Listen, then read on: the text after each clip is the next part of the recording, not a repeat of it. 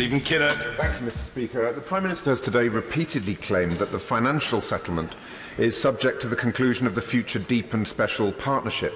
But could I draw her attention to paragraph 96 of the Progress Report, which clearly states that the financial settlement is in fact only contingent upon conclusion of the Article 50 withdrawal agreement plus the transitional arrangements.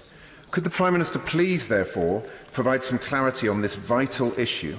and confirm that uh, her, her precise understanding of paragraph 96 is that it is contingent only upon the withdrawal agreement and the transitional arrangements,